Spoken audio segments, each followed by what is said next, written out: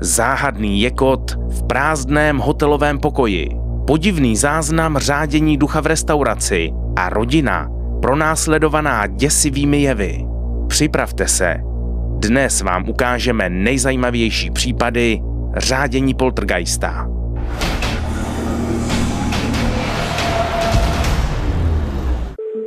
Wingate Hotel v americkém státě Illinois není rozhodně žádná stará budova, ve které bychom čekali, že se to bude duchy jen hemžit. Jenže právě v tomhle hotelu se podařilo natočit jeden z nejlepších záznamů řádění poltergeista a pracovníci hotelové ostrahy zažili hrůzný večer, na který nejspíš jen tak nezapomenou.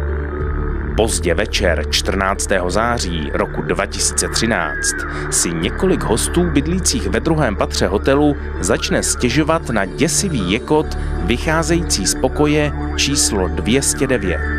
To potvrdí v zápětí i pracovník ostrahy, který přijde pokoj zkontrolovat.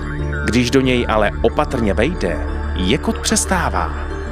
Jenže kamera zachytila ještě něco – zachytila světlou siluetu vycházející z pokoje. O co šlo?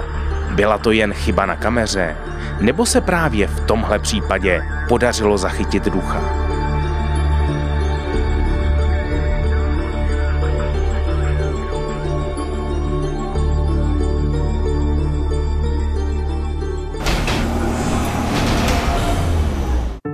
Podivný záznam pochází i z téhle samoobslužné restaurace.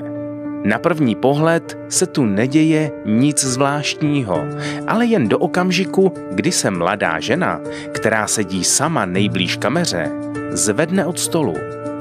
Po chvíli jako by někdo odsunul židli, na které ještě před okamžikem seděla. Potom co si schodí ze stolu ubrousek a nakonec i její talíř. Byla tedy žena v restauraci opravdu sama? Nebo s ní byl ještě někdo další? Nějaký neviditelný host?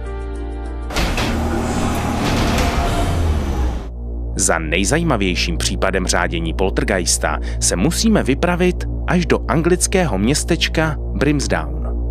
Píše se srpen roku 1977. Na místní policejní stanici míří matka čtyř dětí Peggy Hodgsonová, aby oznámila, že v jejím domě řádí poltergeist. Její děti prý byly svědkem toho, jak se židle v domě pohybují sami od sebe, jak se ohýbají lžíce, vzduchem létá nádobí a ve zdech se ozývá podivné klepání. Případu se v zápětí chytil tisk a díky tomu jde dodnes o jedno z nejlépe zdokumentovaných řádění poltergeista. Největší pozornost z celé rodiny upoutali sestry Margaret a Janet. Právě kolem nich se největší množství podivných událostí odehrávalo a prostřednictvím jedenáctileté Janet dokonce tajemný duch také komunikoval s okolím. No, no. Who's there? Doctor.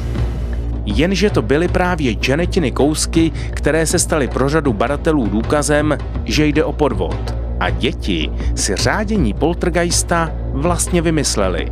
Jeden z badatelů například přistihl Janet při ohýbání lžic.